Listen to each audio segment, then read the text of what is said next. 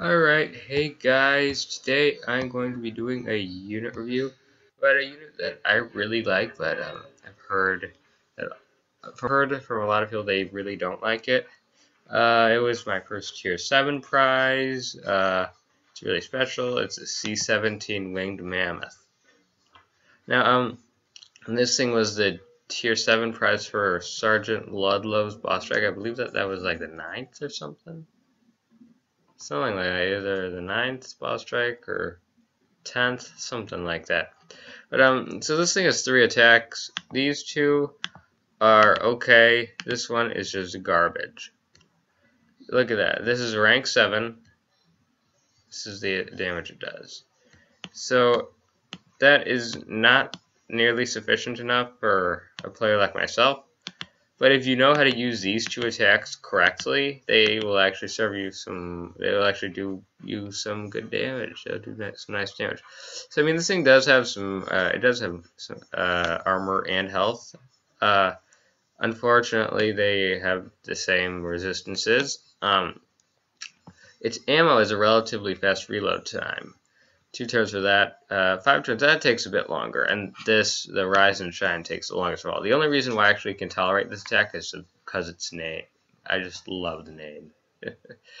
so I find it quite funny. Um, so uh, this attack, uh, it actually does some uh, does some okay armor piercing. The only issue is that so many units have resistances to piercing. It's ridiculous. Um, does get some crits against critters and has a nice base crit. This attack is okay. It uh, it has less armor piercing, but it has a 60% chance of burning stuff. So I will show you this thing against some rebels here. Alright, yay. Battle Nations did not crash. So this unit is best in the middle row, because in the back row, you can't hit the, the rear row with this attack. And this attack can hit aircraft both of these attacks can. This is much more of an anti-air uh, vehicle than like an anti-vehicle aircraft. Um, wait, did I just say anti-air vehicle? No, it's an anti-air aircraft. It's more of that than an anti-air uh, anti-vehicle aircraft. Sorry, it's kind of late and uh, sort of sort of sort of like half asleep. Um, um, but yeah, guys, so I'm gonna show you this thing against these rebels. Um, yeah, just gonna throw in some extra units here to help. All right. So this thing, it'll do some pretty nice damage to aircraft because these are piercing attacks.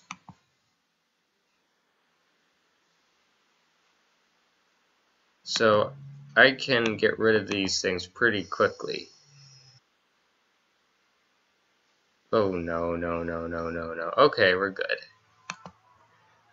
Alrighty.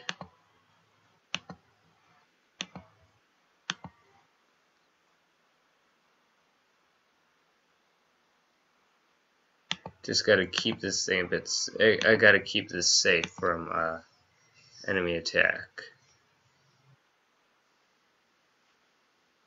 Alright, I forgot what the resistance was to. It was 125% for something.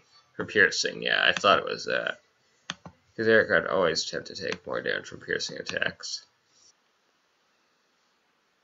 So that did some nice damage against the elemental. Mainly because they don't have resistances to that. So I'm going to see if I can get a crit on this. If it gets a crit, it actually can do... There we go.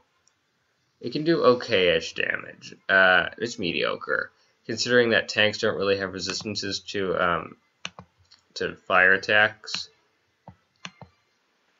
So I can also just, um, I'll just finish these Arctic tanks off with tank crushers now. I'll use the mega tank. want to get that thing to rank 6. Just discovered I can hold enough steel to, to promote that thing to rank 6, so now I'm just using it like crazy. Brady.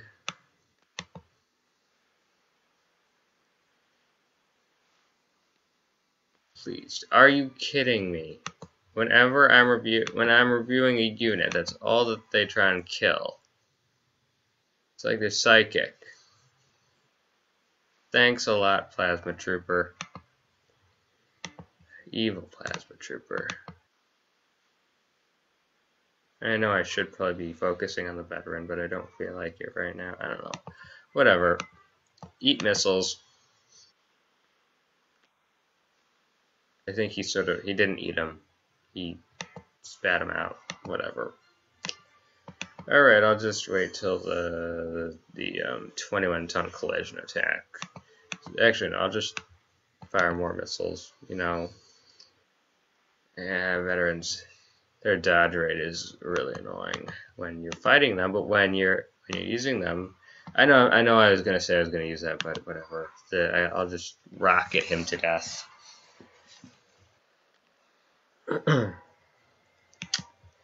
Guess that. No, no, I can crush him with this. Oh, are you kidding me? This guy just had a monster truck jump on him. I think that that would have killed him, you know. Having a monster truck jump on you is kind of extreme, but uh, yeah, so that should have killed him.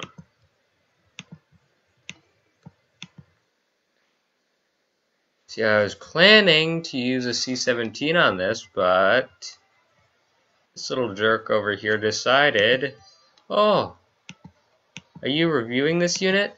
Well, I'll destroy it for you. Well, at least I guess we'll get to see the we'll all get to see the healing costs now. Uh, veterans and plasma troopers. Right now to try and kill this thing. Oh, oh no, this could actually be quite a problem.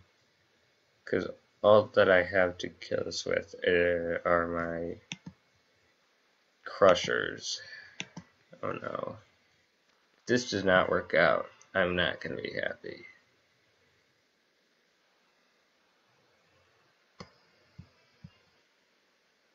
But these things are tend to be really good at just demolishing aircraft.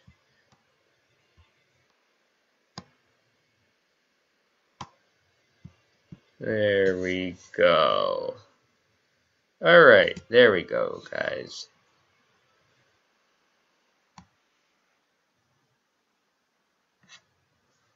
Alrighty, so now we get to look at the healing cost.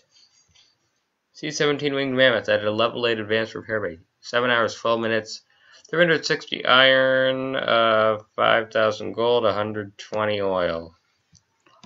Well, I was going to try and do it with try and show you how it works against raiders, but I guess, well, since that one plasma trooper um, decided to be a jerk, I can't do that, guys. I'm sorry. Um, yeah, well, anywho, uh, this has been a review of the C-17 Winged Mammoth. I hope you guys enjoyed it. Uh, thanks for watching. Bye.